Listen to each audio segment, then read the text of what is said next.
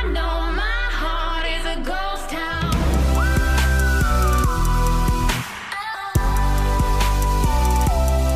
Hola, muy buenas a todos chulos y chulas del mundo. Esta vez vamos con una partida de Darius. Bueno, es el replay, ¿vale? Que básicamente lo que os quiero mostrar es cómo aplicando el friseo de la oleada eh, podéis ganar las líneas, ¿vale? Eh, bueno, básicamente los que no sepáis eh, qué es frisear una oleada, lo que conseguimos es dejar la oleada, ¿vale? Tanto la enemiga como la aliada en un punto congelado, ¿vale? En un, en un sitio congelado de la línea. Es decir, por ejemplo, esto ahora mismo está friseado aquí.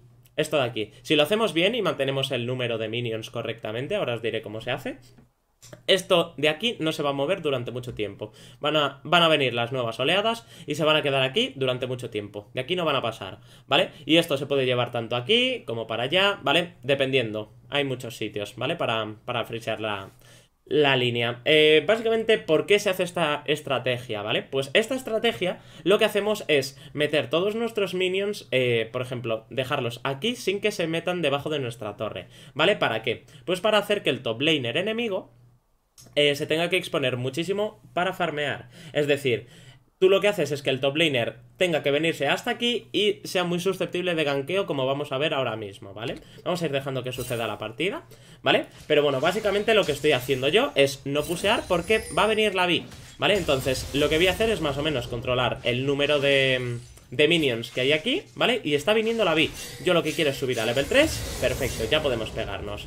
Mirad, lo que vamos a conseguir aquí es matar a Víctor, ¿vale? Le vamos a forzar el, el flash, ¿vale? Y eh, vamos a conseguir matarle, ¿vale? Ahora viene la parte importante, ¿vale? Tras matarle, ahora viene lo realmente importante. Aparte nos vamos a llevar la kill, ¿vale?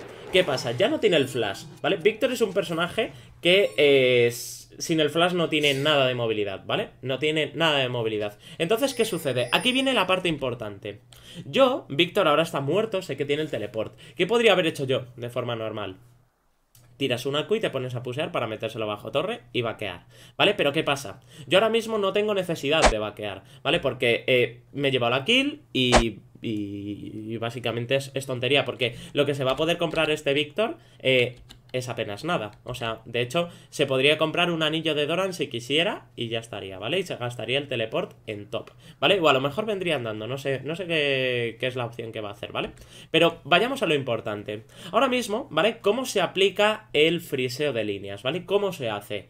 Eh, pues básicamente lo que tienes que tener en cuenta es la cantidad de minions aliados y la cantidad de minions enemigos, ¿vale? Como veis, está aquí bastante, bastante parejo, ¿vale? Son eh, 6 contra 6. ¿Qué pasa? Que estos minions, los enemigos, tienen menos vida que nuestros minions. Pero como podemos eh, fijarnos, esta oleada es la oleada nueva, ¿vale? Que ya ha llegado, Mientras que esta es la vieja y aquí está llegando la nueva. Entonces va a tener el doble de minions que, que, la nuestra. ¿Qué vamos a tener que hacer? Nosotros para poder mantener el friseo, como ya he dicho, tienen que haber dos minions hechiceros, ¿vale? Hechiceros, es importante el dato. Eh, dos minions hechiceros o tres más que en la tuya, ¿vale? Entonces, ¿qué voy a hacer? Aquí, como tendrían 12 minions contra 6, lo que me dedico es rápidamente a limpiar, ¿vale? Lo que voy a hacer es limpiar. ¿Por qué? Pues porque si no, lo importante en el friseo es conseguir que todo esto no se te meta bajo torre. Porque si está bajo torre, eh, lo van a matar, ¿vale? Es decir, no se te va a quedar la oleada en plan de los, los hechiceros fuera y los melés dentro y solo van a morir los, los melés. No, no. Van a morir todos, ¿vale? Entonces se rompería el friseo. ¿Qué tenemos que hacer? Pues hay momentos en los cuales, si no podemos mantener... O sea, ahora mismo estamos en el límite, ¿vale? En el límite. ¿Veis? Está llegando la torreta y está matándolos. ¿Qué pasa? Que muchas veces lo que vamos a tener que hacer es frisear con nuestro propio cuerpo, ¿vale? Vamos a tener que frisear nosotros mismos para, eh, bueno, tanquear los golpes de los minions para que eh, no se puse la línea. ¿Veis? Como como habéis podido ver, ahora mismo ha llegado la nueva oleada, que aquí hay 7 minions, ¿vale? Pero aquí hay 8 minions, ahora mismo. Ahora mismo hay 8 minions, ¿vale? ¿Qué pasa? Ahora está en la cantidad es más o menos la misma, pero ¿qué pasa? Este tío va a ir puseando poco a poco, ¿vale? Porque si se quiere acercar a farmear, va a tener que tirar la E, va a tener que tirar habilidades, ¿vale? Porque si se, si se acerca demasiado, eh, le, voy a poder, le voy a poder enganchar, ¿vale? Entonces, ¿qué pasa? Ahora mismo tenemos un minion más que el enemigo, ¿vale? Pero bueno, no pasa nada porque todos estos se giran a este minion. O sea, básicamente la oleada aquí está bastante friseada. Encima, esto es lo importante, ¿vale? Eh, a la hora de tener el minion canon, eh, la oleada la cual muera antes el minion canon es la que va a ser puseada. Es decir, si mi, si mi oleada pierde antes el minion canon, la oleada enemiga va a pusear, ¿vale? Si ellos pierden antes el minion canon, nosotros vamos a pusear. ¿Por qué? Mientras esté el minion canon en una oleada, este tanquea el doble que los meles y mete muchísimo. Mete muchísimo, mete 43 de AD, o sea, mete una barbaridad, mete casi el doble. O sea, tanquea casi el doble que eh, los meles y mete casi el doble que los hechiceros, ¿vale? Con lo cual es un minion súper poderoso, súper, súper poderoso, ¿vale? Entonces, ¿qué, ¿qué ocurre aquí? Que nosotros básicamente ya el friseo lo tenemos prácticamente hecho, prácticamente hecho, lo tenemos ya aquí. Entonces, ¿qué pasa? Aquí va a tanquear muchísimo este minion, muchísimo. ¿Qué va a ocurrir? Pues que el friseo ya aquí lo podemos aguantar durante muchísimo tiempo y este Víctor para poder farmear va a tener que eh, acercarse demasiado. Yo esto lo sé, ¿Vale? Entonces en el momento en el cual se desposiciona, yo aprovecho y le voy a matar, ¿vale? Básicamente así es como se ganan las partidas con, con los friseos. A mí esto me lo ha hecho un Darius, yo jugando ya, yo jugando Yasuo, y me deja en la mierda, me dejó en la mierda, ¿vale? O sea, te frisea el enemigo y es que lo que hace es que cuando tú te vas a acercar, eh, lo que va a hacer es que te va a hacer un olín y te va a matar, ¿vale? Te va a matar. Entonces, ¿qué pasa? Ahora la oleada, como veis, eh, ¿por, qué, ¿por qué he hecho yo eso? ¿Vale? Vamos a analizar esto. Porque es que también existe el slow push, ¿vale?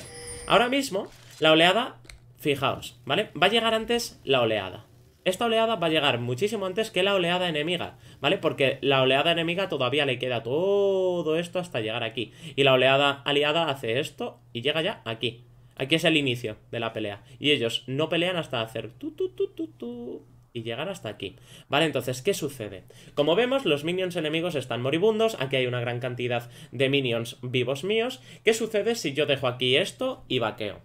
Pues lo que ocurriría como aquí, estos minions empezarían a pegarse con estos de aquí, ¿vale? Se quedaría aquí la oleada, ¿vale? Habiendo estos minions de aquí más los seis nuevos que están llegando y estos todavía no llegarían, ¿vale? Entonces, ¿qué pasaría? Aquí, en lo que vendría siendo el volumen del ejército, eh, nosotros tendríamos más número de súbditos y ellos tan solo tendrían seis. ¿Qué ocurriría? Pues que poco a poco se iría generando una pelota, la cual llegaría a su torre, ¿vale? Pero sería una pelota enorme, enorme. Eso se le llama slow push, ¿vale? Es cuando tú dejas la línea en, en, un momento en el cual, si yo esto no lo toco, a la larga se va a producir una pelota inmensa de minions y nadie lo toca, ¿vale? Esto se va a producir una pelota de minions, la cual se va a meter aquí bajo torre y va a, va a quitar un montonazo, un montonazo.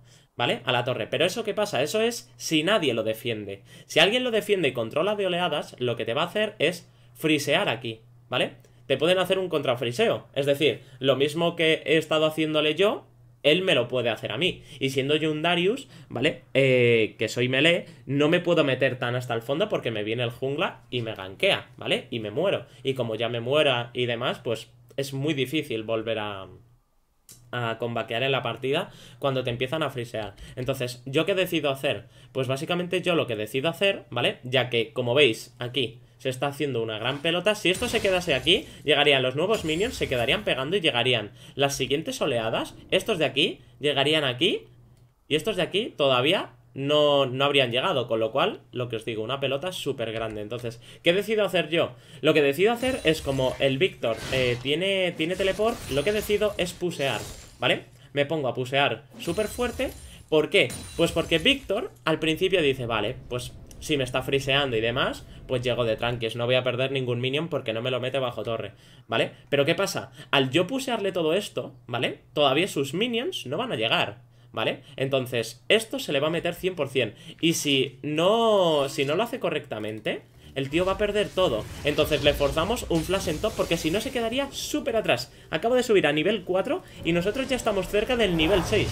Si este tío no hubiera tirado el teleport, habría perdido toda esta oleada, ¿vale? Yo podría haber vuelto y más o menos las oleadas estarían un poco parejas, ¿vale? Entonces, eh, básicamente lo que hemos hecho es forzarle el teleport. ¿Habéis visto tan solo con controlar las oleadas? Hemos sacado kill en top y le hemos dejado súper por detrás. Súper por detrás, tan solo controlando las oleadas. Esto realmente es una estrategia que funciona bastante.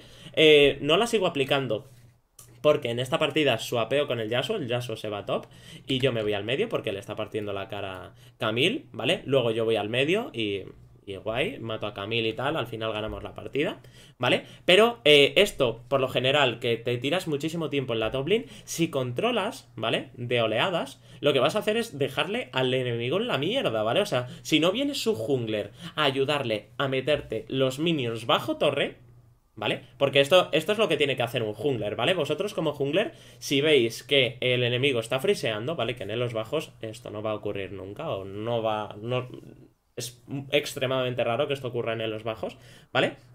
Pero lo que tenéis que hacer como jungler, si vuestro laner está siendo friseado por el enemigo y no puede acercarse y está súper en desventaja, lo que tenéis que hacer como jungler es venir a la línea y meterle todos los minions bajo la torre, ¿vale? Para que se resete la oleada. Porque si no conseguís meter los minions bajo la torre enemiga, el tío va a poder frisear aquí lo que, lo que le dé la gana, ¿vale? Así que eso sería una estrategia bastante, bastante buena que me gustaría que aplicaseis la peña que estáis en top, en bot, ¿vale?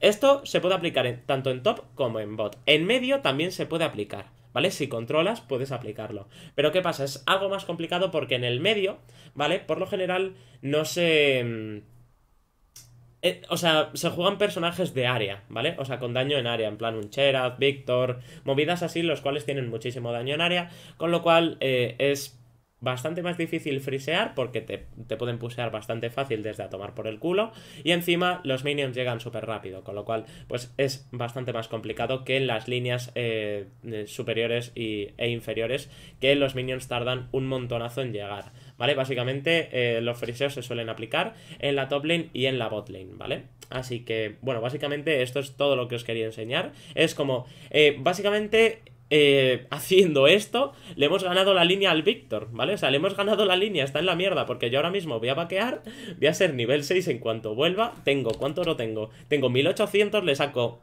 le saco 1000 de oro al Víctor, está súper por detrás, muy, muy por detrás. Entonces yo me voy a hacer casi la cuchilla negra entera, bueno... Que en este caso voy a, voy a optar por las botas de movilidad, ¿vale? Las botas de rapidez, perdón, las de las de. Las plateadas estas, ¿vale? Que te dan resistencia a los.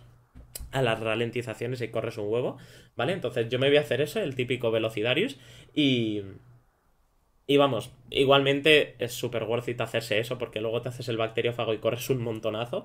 Entonces, básicamente, controlad eso en el tema de oleadas. Podéis veros este vídeo cuantas veces queráis. Es tener eh, dos o tres minions hechiceros más que el enemigo, ¿vale? Y tened en cuenta que quien pierda el canon antes va, va, va a ver su línea puseada, puseada hacia su torre, ¿vale? Así que tened eso en cuenta. Si veis que va a morir vuestro canon, eh, dejadlo perfecto, se va a pusear hacia vuestra, hacia vuestra torre y en el momento propicio no dudéis en matar a ese canon porque es que si no va a ser terrible, ¿vale? Si no va a ser terrible. Eh, porque se os va a meter todo bajo torre, ¿vale? Así que tenéis que ir mirando, tenéis que ir practicando, ¿vale? Pero bueno, si queréis, dejadme en los comentarios si os gustaría que hablase un poquito más de las oleadas y cómo gestionarlas mejor, ¿vale? En un vídeo aparte y yo lo subo sin problema. Así que bueno, si os ha gustado el vídeo, darle like, compartirlo con los amigos y suscribiros para más vídeos de este estilo. Hasta la próxima, chao, chao.